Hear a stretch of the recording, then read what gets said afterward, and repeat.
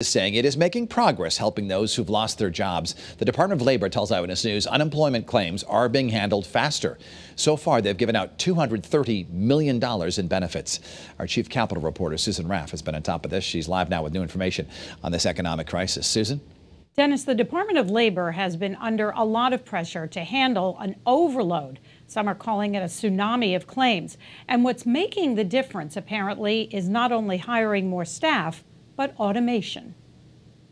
No one um, could have possibly been prepared for this quick a ramp up in this short a period of time. The worst economic crisis is how David Lewis describes this pandemic. Lewis founded Operations Inc., based in Norwalk, which consults companies on human resource issues. These days, COVID 19 is the number one concern. 26 million Americans are now out of work. Here in Connecticut, that number won't be known until the jobs report is released May 21st. But unemployment is expected to be at at least 20 percent.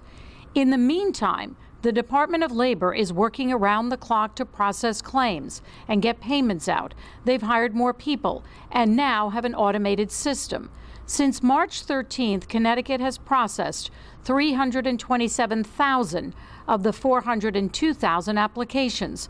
That's more than 80 percent, providing 83 million in benefits in just the past week. The pace at which these claims are coming in now, they're getting a little bit more used to. I don't know if that's a good piece of news. The restaurant industry has been devastated. More than 89,000 employees have been laid off. The Connecticut Restaurant Association started a relief fund. They've raised more than $40,000 from small businesses. 23 breweries are donating some of their proceeds from beer sales. Employees are able to get $500. It's a long road to recovery. Um, you know, the biggest thing is first step uh, needs to be to get them back on their feet. Um, some financial support, whether from the federal government or our state, um, some things that can get them, you know, reopened to, to employ.